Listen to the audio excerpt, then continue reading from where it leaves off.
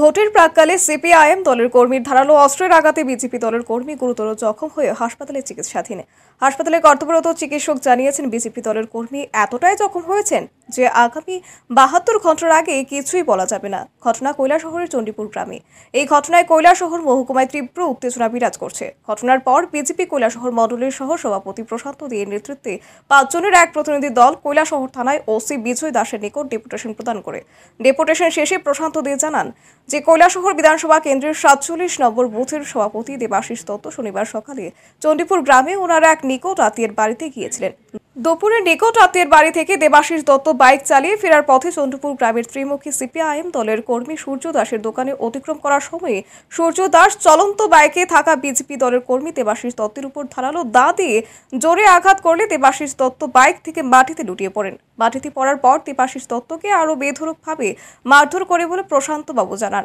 এই ঘটনার পর বিজেপি দলের কর্মী দেবাশিস দত্তকে উদ্ধার করে কৈলাসহরের আরজিএম হাসপাতালে চিকিৎসার জন্য আনার পর জখম গুরুতর হওয়ায় কর্তব্যরত চিকিৎসক উন্নত চিকিৎসার জন্য ঊনকোটি জেলা হাসপাতালে রেফার করে দেন।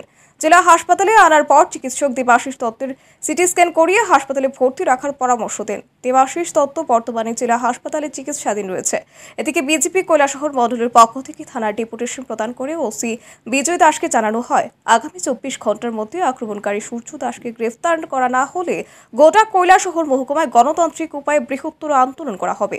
প্রয়োজনে এটির জবাব পাথর দিয়ে দেওয়া হবে বলেও প্রশান্তবাবু হুঁশিয়ারি দেন। প্রশান্ত দেও জানান যে আক্রমণকারী সূর্য দাস সদ্য সিপিআইএম দলে যোগ দিয়েছে এবং সিপিআইএম দলে যোগ দিয়েই এভাবে বিজেপি দলের কর্মীর উপর আক্রমণ করেছে বলে প্রশান্তবাবু জানান। আপনারা আমাদেরকে শান্তি সম্প্রীতি রক্ষা করতে আমাদের সাহায্য করুন।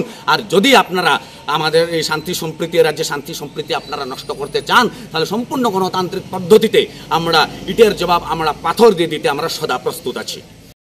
আহত দলীয় কর্মীকে দেখতে হাসপাতালে যান বিজেপি কৈলাসহর মণ্ডলের সভাপতি সিদ্ধার্থ দত্ত। কৈলাসহর পৌর পরিষদের vice chairperson Nitish Dey, BJP নেতা রথীন্দ্র চৌধুরী সহ আরও অন্যান্য নেতৃত্বরা। Report, R E news.